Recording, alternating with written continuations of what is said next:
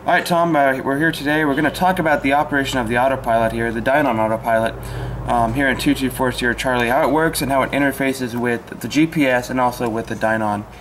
Um, first of all, uh, we powered up our screen here. You could see here down in the lower left corner, AP, that's autopilot, and you could see two errors, ERR and ERR. Pretty much that means our autopilot switch is off and disarmed. So down here is the autopilot switch. When we flip that on, now this is going to say off and off. So now our autopilot is armed, but it's off. We're not getting any heading, heading or altitude um, guidance here. Um, now it's important that if we're going to use the autopilot during a flight, that we turn the autopilot switch on um, while we're on the ground. The reason being is the gyros in the system need to initialize, and so they need to have at least 10 seconds to get stabilized before we uh, before we start that up. Okay, so we have off and off right here. Um, let's move up here to the right to our, um, our Dynon uh, panel here. Uh, we have two panels here for the autopilot, one on the right side here and one on the, on the left side. This AP button, this will activate the autopilot. Just with one click of the button, you will see the LEDs on here turn on, and it's going to engage us in, in, in, heading and altitude mode. So if you look here at our heading, that that's illuminated, and if you look at our altitude, that's illuminated uh, if we push it right there. So we can either have it with heading, uh, with the altitude on or off. Um, so anyway, so right now um, it, it's going to keep our current heading, and if we hit altitude, it's going to fly with our current altitude that, that, that we select right there. Um, on this screen here, it, it, you could choose the source on which you want the pilot, autopilot to navigate off of. So right now it's on heading mode like we pointed out, and I'll show you how to get to the heading bug later. You could uh, navigate off a track, and I'll show you how to do that later. Nav, and you can do it to navigate off the GPS or a VOR. Um, also another uh, function with this autopilot button here, it says hold 180. And what that means is if, if you push this button, obviously like I said, it, it, uh, it activates the autopilot, but if you would hold it down for two seconds, um, it'll actually put you in 180 degree turn, straight and level. Um, so let's say uh, you inadvertently go into IMC, into a cloud, for instance. You hold that button down for two seconds and, and virtually let go and that'll turn you 180 degrees out of that cloud. Pretty neat, pretty neat. Um, also here we have a value button. Let's go ahead and click this. We're going to push it in. Alright, so now you can see on, on, on both screens here, you have um, heading here. Uh, it, it stays up for about 5 seconds. If we click it again, it's going to go altitude, and it's always going to be at our current altitude. Click it again at baro, so it's our, our altimeter setting there. We could also adjust that on the Dynon, which I, we could talk about later. And so we do that by clicking in, and you could adjust it um, based on whatever heading you want. And you can see up here the heading bug on the heading type, how it switches there for whatever heading we want. Now, a cool feature is, let's say we're, we're flying heading here of, of 350, and we want to hold heading at 350. Um, this knob here, um, sorry, this knob here, the heading knob, this also controls the heading, but if we want to fly a heading that we're already on, you push it in, and then it, it holds that heading of, of 350 right there. So, pretty neat. Um, you could just click it to there, or let's say we're heading up 320 and we want to turn it to 020, you just click the button in and turn it over to 020. Not, not a problem at all. Alright, let's move over to the, uh, to the left side here.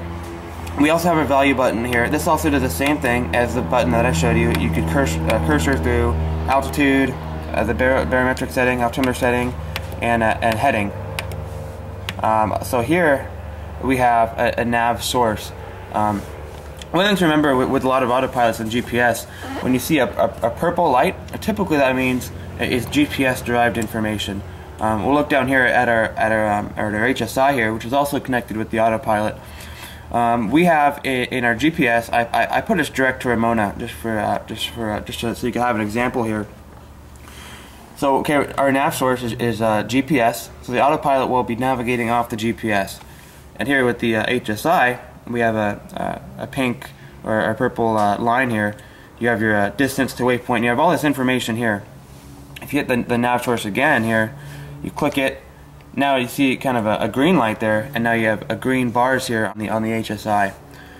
So that means now it's when you see green, typically that means now you're using v, uh, VHF derived information. Uh, right now I have the localizer tuned in here to Gillespie. And you can see right here, you have uh, the localizer tuned in, the frequency that I put in, which I put in down here um, in, in, the frequency box. So whichever one you want to navigate off, you, you make sure that's in the right mode before you, before you navigate. Alright, uh, we like I said, I already talked about our, our heading mode here. um, we have a course. This actually changes the course that, that we want to navigate off. So let's say we're flying the localizer. We'd want the course to be uh, 269. So we'd actually rotate that here to 269, and that's how we would, we would fly it. If we're navigating off a of VOR or anything like that, that's how we would select the radial.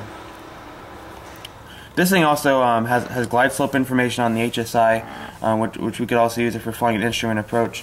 But this is how you change the course, and then you could change the heading uh, up here also. It changes the heading bug on the Dynon screen up there, and then also on, on the heading bug. Okay, one thing I want to point out too is this autopilot disconnect button. Um, if you hold this down uh, for about two seconds, it'll disconnect the autopilot. And you'll hear it in your headset, it'll say autopilot disconnect. So be, you'll be able to know, um, you'll be able to hear that happening. Okay, so um, with the autopilot on, um, it's actually very easy for the pilot to override the autopilot. It doesn't take much uh, muscle control to override it.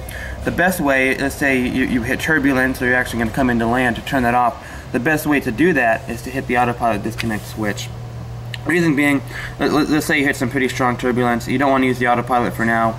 You turn off the autopilot switch here. Now remember we were talking about those gyros that, that need to initialize in the beginning, they need to stabilize and, and, and find level.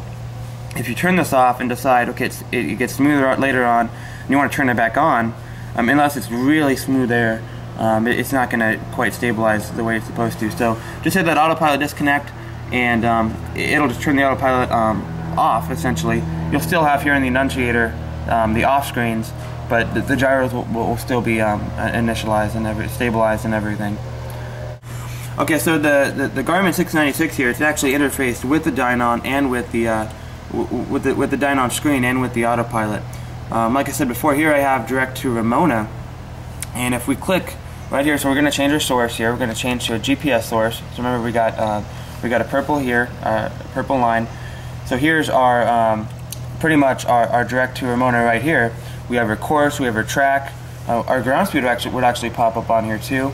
Our distance to the waypoint would pop up. So these three are all interfaced. Um, you'll get that same information off here, but now you have an HSI which you can navigate off of, which is pretty neat. You could uh, you could actually set up when you set if you set up a flight plan in here. You say you set up various waypoints. This will automatically switch to the next waypoint, and the autopilot would also navigate to the next waypoint. Let's say you have a turn somewhere in there let's say you go Ramona, then direct French Valley, right over the top of Ramona, your HSI will, will change its course automatically, and your autopilot will turn onto that course. Also, let's say you initiate the autopilot. Um, one thing I like to do,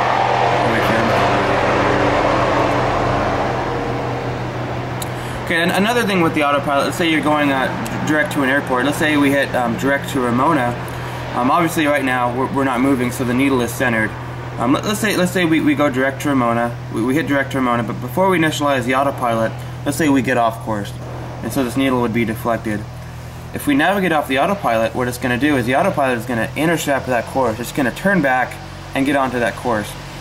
So don't be surprised if if you hit um, direct enter and you fly around for a little bit and then you initialize the autopilot and it starts an immediate turn um, to that course. It's going to do about a 45 degree intercept back to that course.